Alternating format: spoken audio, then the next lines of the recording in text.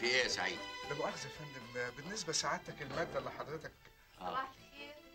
أهلا وسهلا يا أنسة هاني أهلا يا فندم أشرقت الأنوار.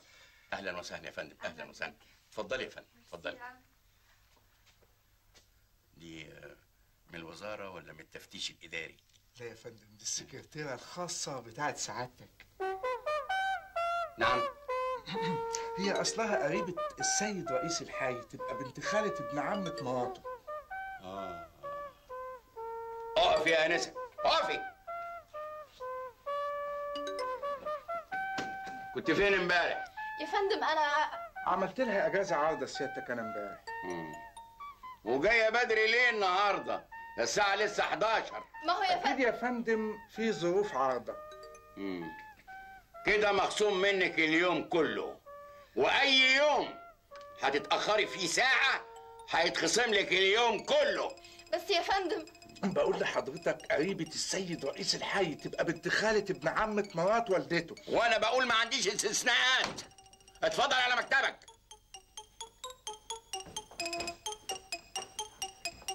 وأنت يا أنسة النظام القديم اللي كنت متبعاه زمان تنسيه.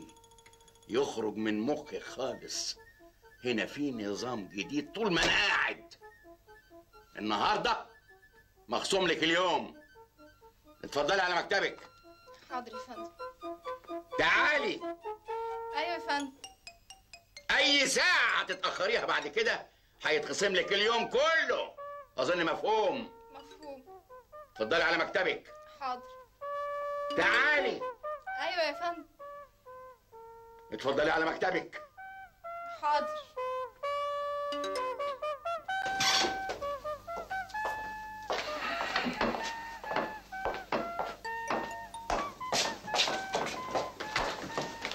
يعني إيه يخصم لنا ثلاث أيام؟ هو فاكر نفسه رئيس الحي؟ والله بقى أنا حاولت معاه اذا كان خصم للانسه تهاني يوم. المسكينة ما اتاخرتش غير أربع ساعات وبس. ده بدل ما يدينا مكافأة عشان بنخدم زمايلنا. والله أنا حاولت معاه عشان كنتوا كمان. عشان يرفع عنكم الجزاءات دي مفيش فايدة. رفض بإصرار وبشدة. خلاص يبقى ما فيش حل غير ان إحنا نشتكي للوزارة. آه ونكتب في شكوى بنقول اللي متزمت ومتعنت. علينا إحنا الاثنين خلاص وأنا متضامن معاكم. خلاص يبقى تمضي الشكوى معانا. هم؟ لا أنا مش متضامن معاكم للدرجة دي يعني. أنا متضامن معاكم بقلبي وبروحي. إنما حكاية الامضه دي بقى بلاش منها. وإحنا اللي فاكرينك معانا. يا جماعة يا جماعة خليكم معايا. طول ما السيد رئيس الحي غايب فاللي بيحل محله مين؟ المدير العام. فأنا بنصحكم نصيحة لوجه الله إنكم ما تقفوش قصاده لأن ده مجري وممكن يدوس عليكم. يعني إيه؟ نسكت له؟ لغاية ما السيد رئيس الحي يجي بس والراجل هيرجع لكم كل حقوقكم والجزاءات اللي جت عليكم. الراجل ده ما يرضيش الحال المايل. إيه رأيك؟ عنده حق. عنده حق؟ طب والسندوتشات اللي كنت بعملها للموظفين؟ يا ست خليهم يجربوا الجوع شوية. طب والجمعيات اللي بيصرفوا منها؟ برضه خليهم يجربوا الفلس شوية. ليه بقى؟ خليكم معايا. علشان لما السيد رئيس الحي يجي يقوم يلاقي حالة تذمر في الحي يقوم يفقع المجري تقرير حي يقوموا يدخلوه جراش الوزارة ويحيلوه إلى التخزين ويعملوا له معدل إهلاك ويكهنوه. يلا يلا. يلا يا أختي.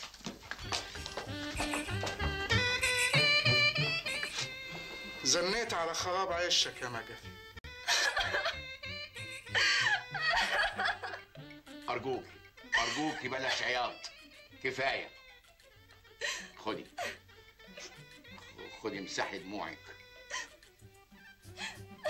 ده انت زي بنتي. أنا ما كانش قصدي أزعلك. يا فندم ماليش ذنب. إزاي بس؟ ده انت جاي الساعة 11 يا فندم المدير العام اللي قبل حضرتك قال لي أجي وقت ما أنا عاوزة. آه طبعا. ما انت قريبة رئيس الحي. وقال لي كمان أمشي وقت ما أنا عاوزة. يا بخت من كان النقيب خاله.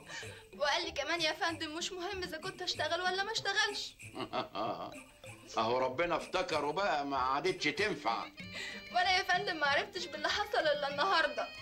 ما عرفتش إنه مات إلا النهارده وبس؟